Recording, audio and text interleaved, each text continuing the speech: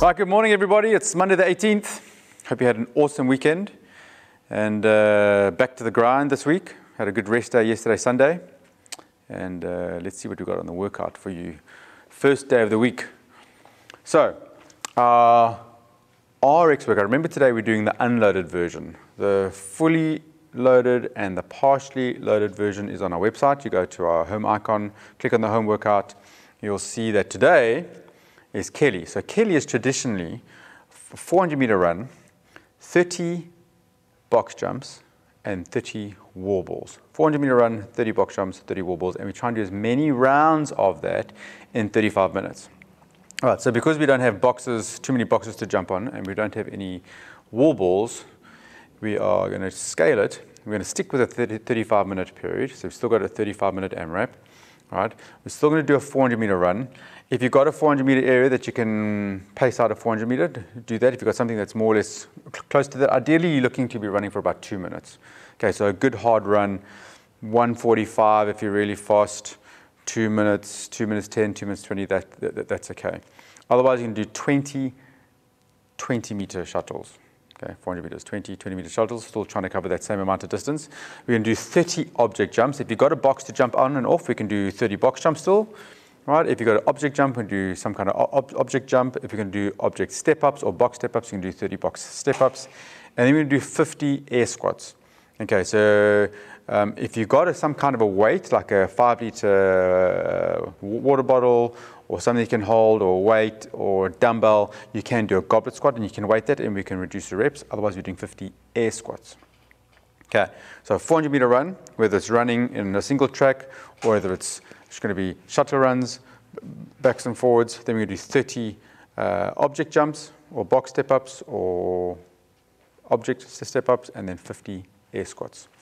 All right, let's have a look at those quick movements for you. So, 400 meter run. If you're doing shuttle runs, we're going to be running backs and forwards. So just a shuttle. Oh, from there you can turn around. You don't have to go backwards back. 20 meters there, 20 meters back, then you do 20 meters. If you've got a 10 meter only, so up and down your passage, you can drive your husband or your wife crazy and you go 10 meters down the passage. That way, turn around, do 10 meters backwards if you're doing inside. Depends if you've got a garden or if you're in a, a flat. You may, may not even have 10 meters and you have to do 45 meters. No, 85 meters. That'll be a task. Okay, uh, moving on. So if you've got a place to run, do a run. If you need to, if you haven't got a place to run, you can skip. You're skipping for about two minutes right? Just to get that cardiovascular rate up as much as you can. Then we do 30 object jumps. So object jumps, if you've got an object, your first object, right, you can scale it. We're just going to go sideways over an object. Right, so do one jump, one, two, three, four over an object. If that's too high for you, you can scale it down even more. You do one, two, three. Okay, but we want to get that heart rate up. If you want to go slightly faster, you can do slightly faster, but you may end up having to do this for more like a two minute period than just to do 60 backs and forwards. Otherwise, these jumps are going to move too quickly and you're going to do a lot of rounds of that. You can do quickly on this one, one, two, three, but you may have to up your reps as well because you're also going to get those 30 object, object jumps done too quickly. If you've got a crate or a box or a step, or a chair, something you can jump onto. You're going to jump up and stand. Do 30 object jumps and stand. If you can do a step up, you can do step up, step back down. So maybe a chair or a bench or a nice big log somewhere. Okay, those are to be object jumps. If you want to step up sideways, you do sideways onto your object jumps, object step ups whatever you can use, okay? Next one will be 50 air squats. So your air squats, feet shoulder width apart, right? Press back into the hips and press. And we're trying to go for 50 reps. Make sure these hips are nice and deep, shoulders back, chest up, stomach tight, and we're going through your squats. If you've got something that you can use, right, you can do some kind of a weighted object step. If you do have some weight, you can actually start looking at dropping your reps down to back down to 30 reps. So you're to hold the ball nice and tight and sit back into a squat, press and push. So if you use a five liter jug, that's a good five kilograms that you can press. One, and start using that squat work for your weighted squats. And that's it, okay? So our scaling, remember for our object jumps, we can do step ups. For our air squats, right, you can either increase the weight and reduce the reps if you want to make it a little bit more difficult. You can also keep it on an air squat, but actually reduce your reps down to 30 as well. So we're reducing the total amount of air squats to reduce the work done so that tomorrow and the next day and Sunday, oh, we're not doing this on Sunday, we're doing it on Monday. Lockdown's driving me crazy. Have you got your calendars right? Okay, guys, so that's the workout. Uh, that is your workout on the side. We're going to go through your warm up and your workout prep now. Okay, guys, so your warm up. So we've got a 200 meter run, nice easy jog on the 200 meter run. If you don't have a place that you run, you're skipping, you're doing some fast feet, jumping jacks, chase the dog. You know the drill by now. All right, then we do some shuttle runs. Shuttle runs, if you have got a place to light up shuttle runs, you're going to run forwards there, backwards back, forwards there, backwards back for your shuttle runs just to get your heart rate up. And you're going to go through a whole bunch of running drills. Okay, the running drills are there to prep your hips, your knees, your back, your shoulders. Make sure that you're firing properly so when it comes to the run for the workout, you're running nice and smooth. Right, so the first one, we're going to do a long lunge and a twist. So we're going to step forward. What we're going to do is we're going to walk forward into a step. We're going to step forward, hips, make sure that back leg is nice and straight. Make sure this foot here is just to the outside of the, of the hands and the knees to the outside of the hands. Back leg nice and straight. You're going to twist. Uh, stretch. What I'm looking for is stretching through the hips, stretching through the hip flexor on the, on the left, stretching through the glutes and the hips on the right, and rotating through the core and the shoulders and the thoracic spine, and back down, step, back leg nice and straight, turn, and rotate. And you work for about a minute. Turn, and rotate, step, turn, and rotate. All right, that's going to be your long lunge with a rotation right? That's going to allow you slightly bigger mobility. Then we're going to do some slow jumping, some big jumping, and some high knees. So we're just going to work. So on the spot, we're just going to try and get a nice high jump, jump, nice high jump, jump, nice high jump, jump. And we just slowly walk, walk, jump, walk, jump. On this one. And then we do some bigger jumping. We're to start bringing the knees up as high as you can. So you're to walk, knees up, jump, tuck jump, walk forward, tuck jump, walk forward, tuck jump, bring the knees up. It's going to be a, your tuck jump. And then uh, uh, last one is going to be high knees, knees up nice and high, up, one, two. Use your hands if you want to, if you can touch your hands to knees for your high knee drills as you can on the side. Fast knees, high knees, that's what we're doing. Then we got into butt kickers. So butt kickers, back straight, chest up. Keep that stomach nice and tight.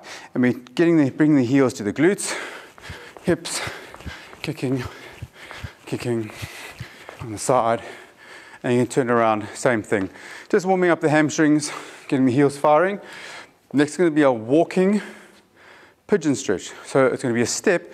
You're to bring the heel tucked in and stretch into this external rotation of the hip. So from there, tuck, pull, stretch, back down. There, tuck, pull, stretch, and back down. Try and pull that ankle as close to the body as you can. Pull, stretch, and back down. That's your walking pigeon Stretch up into tiptoes. So up into tiptoes is you want to get those ankles and feet nice and firing. So you're trying to, we, do, we call it the stiletto drill. Imagine you've got a high heel, this very high stiletto, and you're trying to keep the heels as elevated as possible. You're pushing through the ball of the foot. Okay, you're walking through the calves, walking through the ankles, pressing, and you do uh, backwards, coming back as well. Keep the heels up nice and high for your stiletto drill. Okay, uh, tippy toes, high heels, same drill.